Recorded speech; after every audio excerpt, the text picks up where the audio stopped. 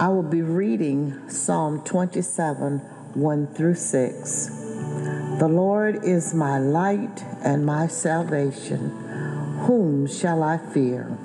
The Lord is the strength of my life. Of whom shall I be afraid? When the wicked, even mine enemies and my foes, came upon me to eat up my flesh, they stumbled and fell. Though a host should encamp against me, my heart shall not fear. Though war should rise against me, in this will I be confident. One thing have I desired of the Lord that I will seek after, that I may dwell in the house of the Lord all the days of my life, to behold the beauty of the Lord, and to inquire in his temple. For in the time of trouble he shall hide me in his pavilion.